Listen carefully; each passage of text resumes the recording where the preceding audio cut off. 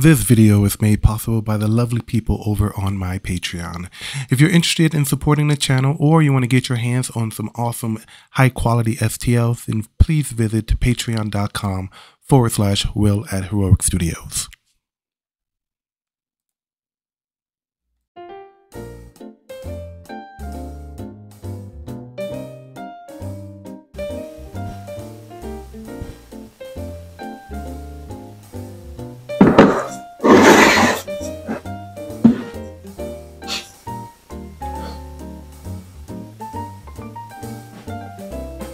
Today we say goodbye to a, a valuable friend, partner, even.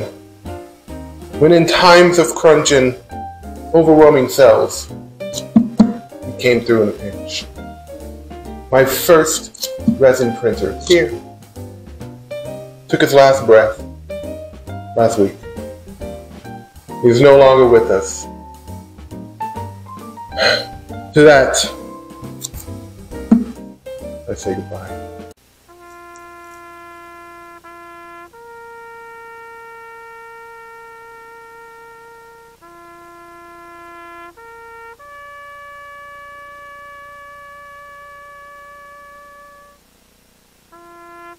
You will be missed, my friend. You will be missed.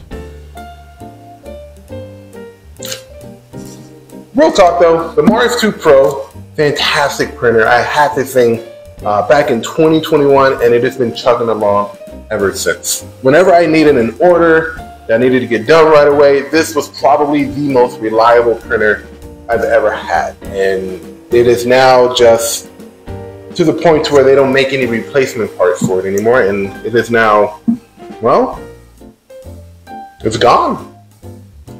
Finished. Now, I do have two more Mars 2 Pros over here, and they work just as well as this guy. and so I'm counting down the days until those printers are actually gone. But until then, I needed to get a replacement. So,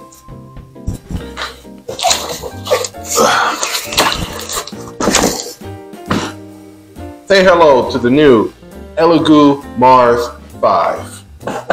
Uh, not the printer that I wanted. I'm going to go out and say that. I wanted the 5 Ultra. A lot more features, a lot more revolutionary uh, resin printing deals, and uh, that's the one I wanted, but I wasn't willing to drop 300 bucks on it. This was a Black Friday deal for $180. hey, I got you for about 150, 30 bucks more. You get the latest and greatest so far. So, Mars 5, gonna miss you, buddy. Though I don't really know how to dispose of printers, I have a whole shelf in the back over here that has a ton of resin printers. So if I come across any replacement parts that might still be floating around the market, hey, I can repair this part. But for now, we're gonna go ahead and start with the Elegoo Mars 5. So I bet you're wondering, dude, another printer? Yes, another printer. Aside from being mediocre at YouTube and running a Patreon, I have an Etsy shop, and right now, it being the holidays, I'm extremely busy. So I need all of my printers working in tip-top shape. I need them cranking out these orders so I can get it to my customers before Christmas. Uh, with that being said, understand that if I did not have a business, um, I'd still be buying printers. No doubt about it. This is the thing. If you're thinking about getting in 3D printing in 2025, understand that this hobby is a monetary black hole it will suck you dry. You're to see the latest and greatest printer, and you're like, oh, I want that, and you're to get it. I mean, when I got started, people were spending 300 bucks, and that was a lot. Now you got people dropping $1,500 on a Bambu X1C, and they're doing it. So understand that it is a, uh, it's a black hole, and this is why people actually turn it into businesses so they can buy new toys every month, and so on and so forth. So um, understand that, and understand that uh, I do it anyway because why not? So we're gonna crack this bad boy open. We're gonna set it up. We're actually gonna put it where my old Mars used to be, and uh, we're gonna see what this thing can do. All right? Okay.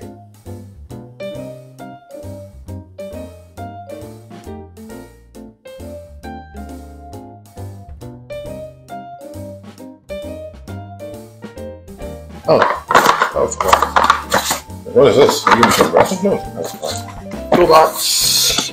Goodies are in here. usual. Apply cord, glove, spatula, mask, yada yada yada.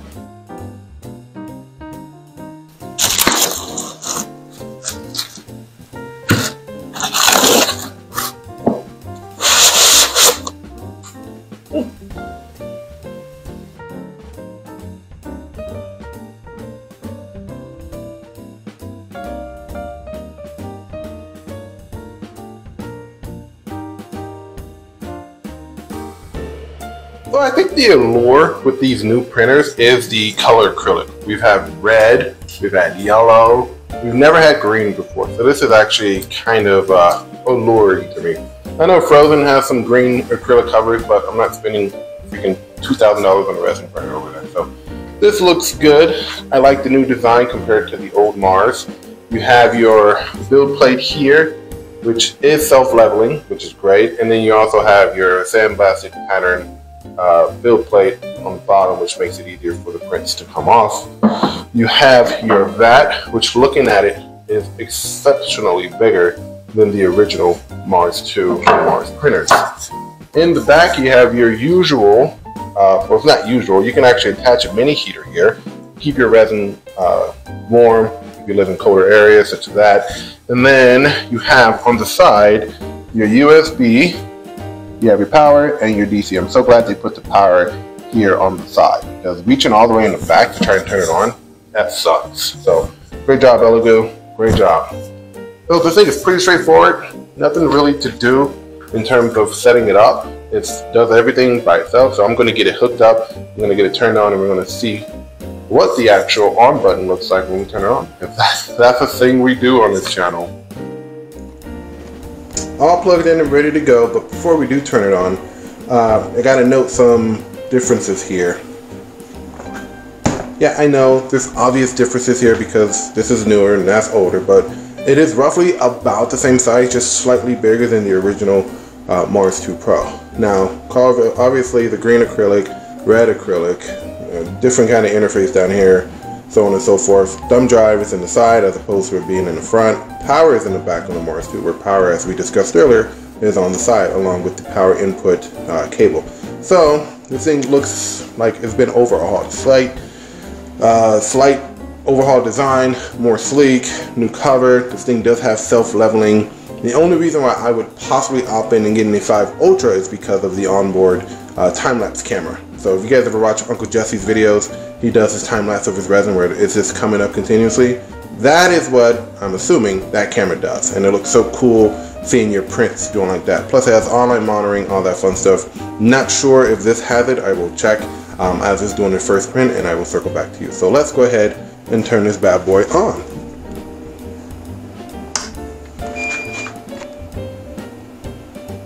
Elegoo Mars 5. Sorry if it's blurry, I'm using a different camera. Alright, so it's doing its checks. You can see the Z-axle is doing its thing. So this thing does do a online, not online, a onboard check of all systems, make sure everything is running right. Same with the M5S. Everything, every time you turn it on, it does this little self-check. Tells you if everything's running right. This one apparently does the exact same thing. Gotta be better if I just remove the uh, thing. So it's doing its checks. Sorry if you can't see it. Alright, so we're in our tools, we're in our settings.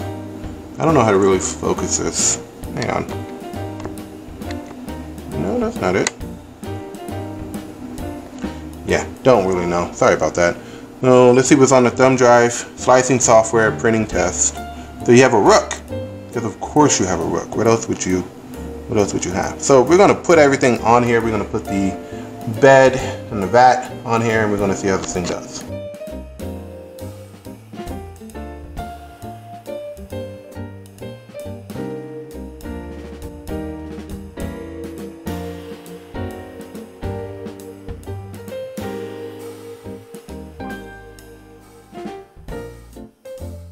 So we're going to be using this like gold Yoju 3D printer resin. Haven't had much luck with it, but this uses a different light source, so I'm hoping that this will actually uh, fix it or actually work. So gotta shake it up real good.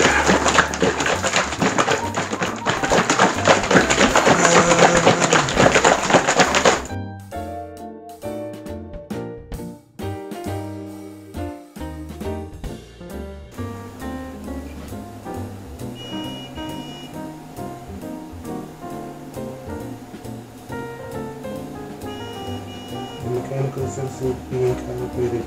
Do not touch device. So apparently it's calibrating the mechanical sensor. So does it do that every print? Maybe. I don't know.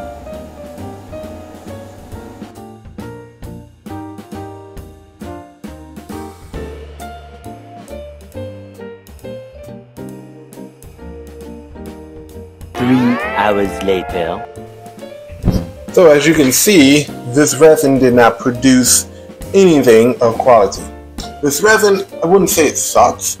I'd say that you have to be a, a little bit more precise with your setting. So maybe not the best resin to use when trying this printer, so I'm gonna go ahead and just pull off a, a basic white I have sitting on the shelf and then try this whole test print again. So after two hours and 25 minutes later, we got ourselves a test print. Nice little basic rook that is from the Elegoo people. So nothing too fancy. My only gripe is that this thing is actually no support, no raft, just onto the build plate. So this might be a bit of a pain in the ass to get off as with all the other test prints I've done with Elegoo printers. But this new perforated build plate that we have here might actually prove to be a lot easier than before. So I'm gonna let the uh, resin drain off of here because as it says in the instructions, chapter 2, article 5-9, uh, you gotta wait for the resin to spill out. So I'm gonna do that. And while I do that, I'm probably going to charge my camera. See you in about four hours. So, using that white, uh, white resin, that rook is looking pretty good. My only gripe with it, as I probably said before, and now I'm repeating myself, is that it is actually on the build plate. There's no raft, there's nothing, so I've learned in my experiences with Elegoo, getting this damn thing off is a pain in the ass. So, I'm actually going to use a plastic tool, if I can find it, a brand new plastic tool that they say in their design or in their instructions that you should use to get off. So, let's check this out for a second. It looks really good. I mean, no complaints. Is this perforated build plate easier to remove items? Oh boy.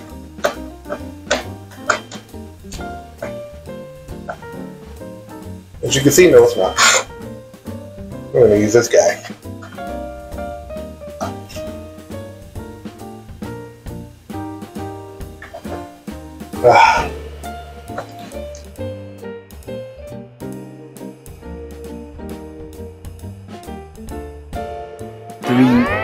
Later. Ah. It wasn't as hard as I thought. Little pain in the ass. Don't build directly to the build plate.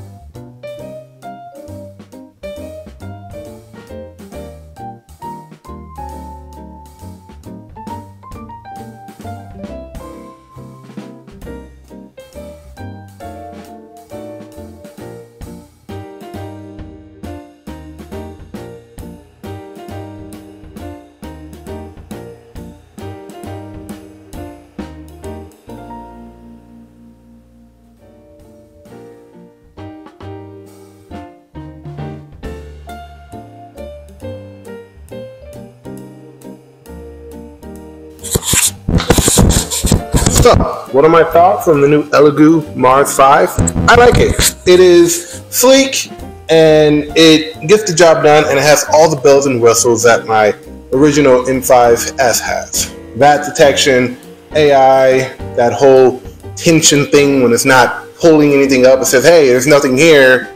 You want to continue or you want to end it. My only gripe with this thing is that when the VAT isn't full, you have to stop the print and refill the VAT. You can't just tell it to uh, say check again or anything like that. It's either stop print or ignore. So, eh, don't really like that. But all in all, this printer is great. The green acrylic, like I've mentioned before, looks great.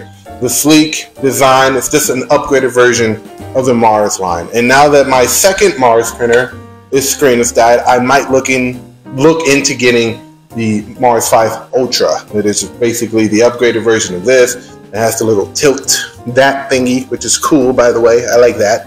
It also has an onboard camera. Okay, 289 bucks. Eh, I might go ahead and buy the bullet on that. But so far with Elegoo, the Mars line of printers have been fantastic.